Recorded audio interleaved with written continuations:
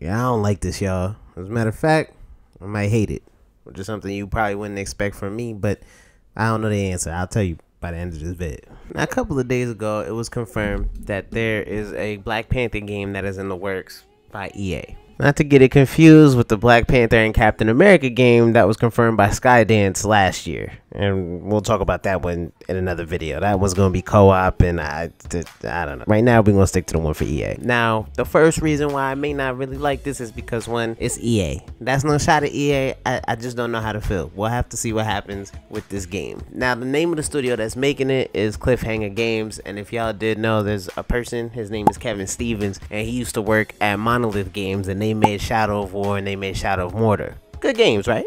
Yeah. I mess with those. I actually like those a lot. So I'm not mad at that. And generally, a lot of us have really liked the Cal Kestis Star Wars games. Now, with those two sets of games have in common that they differ from a Black Panther game is that in those games, those characters were original characters. So everything about it was story driven. It was the first time we saw those characters, so we got to fall in love with them as those characters. Basically, there's nothing to compare them to because they were their own original stories. Black Panther is a totally different situation altogether. And before I continue, don't y'all forget to like, comment, and subscribe, and check out the links in my description to get y'all some discounts on some pro controllers or just some customized controllers in general, or hit up the humble bundles to get yourself some discounts on some games that you may have not been able to play up until this point. The links for both are down in the description.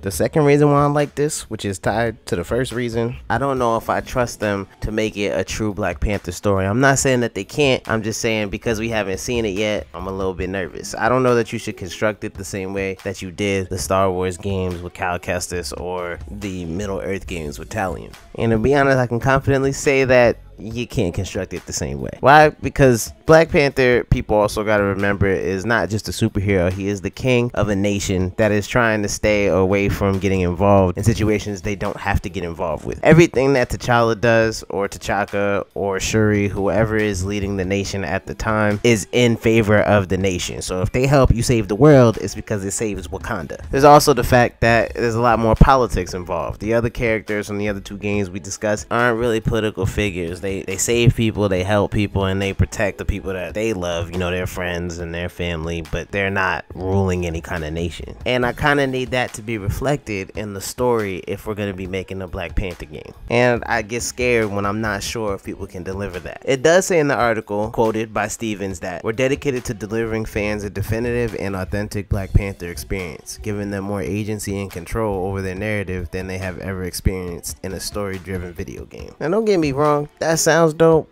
but it does depend on what it means. If it just means that there's going to be a lot of decisions that you can make that will affect the outcome of the story, that's fine. If it means that the character is going to be fully customizable or creatable, I'm tight. I, I don't I don't want to see that. And this game was announced actually slash leaked last year in some tweets. But if it is a created character thing, I will be kind of tight because I'm like, really, the first superhero that you're gonna make created is gonna be Black Panther?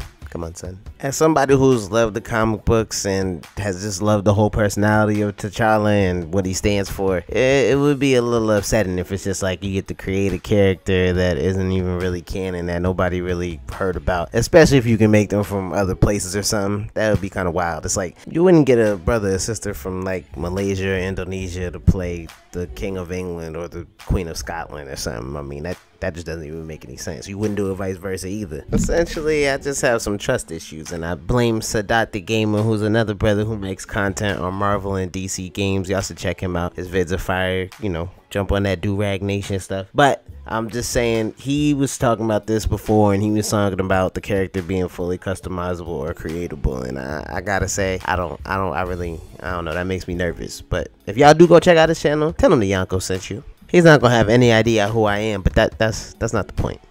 Anyway, and the third thing that I don't like about this is that in the article it already confirms that the king is dead. Now we don't know who the king is. All of us, of course, are familiar with T'Challa as being the king or his father T'Chaka being the king. We don't know which one of them that they're saying is dead for this, but if it's either one of them, I'm already starting at a point where I'm like, mm, I don't know where we're going with this. I mean, T'Chaka makes a little bit more sense. But if T'Challa is dead, then I'm I'm I'm tight. And the last thing that I'm kind of concerned about is just that they said that Wakanda is a sandbox, a superhero sandbox. And if you read the comic books or even if you watch the movies, you realize that a lot of the stuff, although in Black Panther 2 Namor did make his way into Wakanda, most of the time, a lot of the conflicts they had were actually outside of Wakanda. Some of them were right outside at the border, which is where Black Panther would stop people like Captain America, where they wouldn't let people even get close enough to the border before they got into conflict. That could happen in this game. I don't know. It's not that there hasn't been any type of fights in Wakanda. Of course, the run ins with Mbaku, who's from Wakanda, or Namor, or Klaw, were things that did happen in the comic book. So I guess we'll just have to see what kind of approach they have to the story for this game. But yeah, yeah, y'all tell me how y'all feel down in the comments. And it's not that I'm not excited for the Black Panther game. Of course I am. And the Skydance one could be good too. We'll talk about that later. But you know, I'm just not sure. We'll we'll see what happens with all that. And I won't lie to y'all, your boy did have some ideas about a video I was gonna make about a Black Panther game before all this happened. And I was gonna talk about how I think Insomniac actually had one on the way coming down in the future. We know they're making Wolverine and that's gonna be fire. But Insomniac Games made it clear that in Marvel Spider-Man 2018 and in Miles Morales that Wakanda was clearly a place in their universe. We had the Wakandan embassy that you take a picture of in Marvel Spider-Man 2018 and in Miles Morales you had Triple J, J. Jonah Jameson talking about how he wanted to watch the Great Wakandan Cook-Off. So I was going to be excited about Insomniac and if it wasn't Insomniac making this game, I'd be a lot less nervous. But I'm going to catch y'all on the next vid, alright? I love y'all.